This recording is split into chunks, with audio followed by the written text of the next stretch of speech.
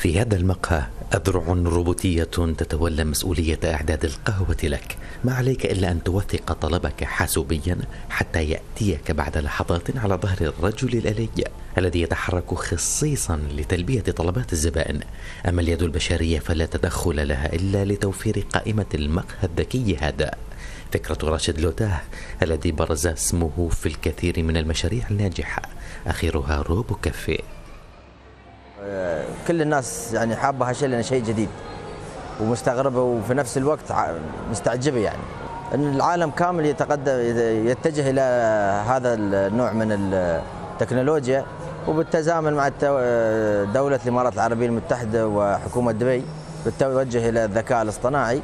قررنا أن نفتح الكوفي هذا اللي هو روبو كافيه بعد هذا المقهى التكنولوجي إذا هل باتت الروبوتات قادرة بالفعل على تولي وظائف كانت ولا تزال مورد الرزق الذي يوفر لعمال المطاعم العيش الكريم؟ للشيف نور الدين رأي آخر في هذا الصدد. هو يثق بأن ما تصنعه يداه لا يمكن لرجل آلي صناعته مهما بلغ الذكاء الاصطناعي من الذكاء لإعداد الطعام. فلا قلق على وظائف عمال المطاعم وأن اشتدت المنافسة وفق تعبيره.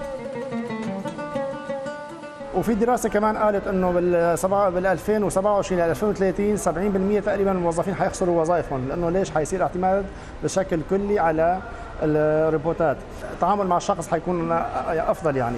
ممكن كتجربة واحد يروح يجرب بس لا حيرجعوا لثاني لشخص لأنه في الكاريزما الإنسان اللي هو اللي بيأدي تتعامل معه آه، حيكون له تأثير أكثر أكثر من الاله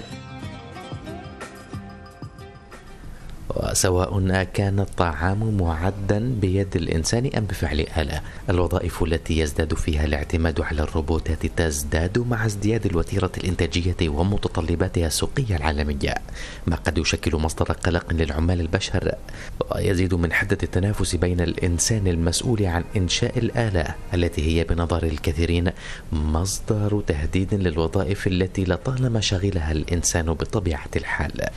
دبي قناة الحرة. ربيع أبو حسن.